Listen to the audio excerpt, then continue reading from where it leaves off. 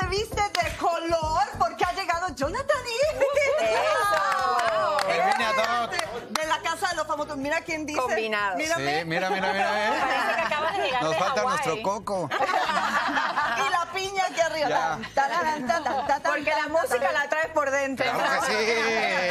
Bienvenido. Ok, Muchas y ahora, gracias. y ahora te, con- te conocíamos como actor, como chico reality de la Casa de los Famosos, un poco enamoradizo por ahí, y ahora como cantante. Sí. Bien, ¿qué? ¿Vientos? ¿Vientos? Viento qué? se llama mi tercer sencillo que vamos a sacar ya el Órale. 28 de este mes. Tenemos nuestro primer toquín.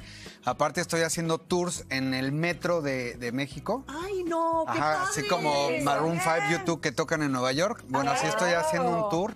El 21 y el 28 me presento en Cuatro Caminos, que es de las estaciones más, más grandes, grandes. y Zapata. Qué más aparte tenemos. Sí, está muy, muy interesante porque tienes al público que no lo conoces. Claro. Si no lo enganchas, pues se siguen. Se va a seguir. Ya lo hicimos una vez y la verdad que la sensación es increíble Qué porque padre. pasa la gente y cuando se empieza a rodear Qué rico, y dices ¿verdad? lo estoy haciendo bien o le gusta, Claro, entonces claro. tienes gente real que te empieza a seguir ¿Y cómo también. se llama la banda? Se llama Marion. Marion. Marion. ¿Por qué Marion? Es- tiene un chiste de. Estaba haciendo yo un negocio con Chela Lora y Alex Lora, que del Mm. Tri, y le habló a su asistente que es Marion. Entonces dije, ah, Marion. Entonces le gustó. cambiamos, le pusimos el acento y le Y le quedó en agarraron. Marion. Bueno, a Muy ver, bien. dime una cosita. Eh, además de la música, ¿pero vas a seguir en las novelas? Claro, de hecho, este, vamos a ver qué, qué, qué pasa aquí en Miami, ¿no?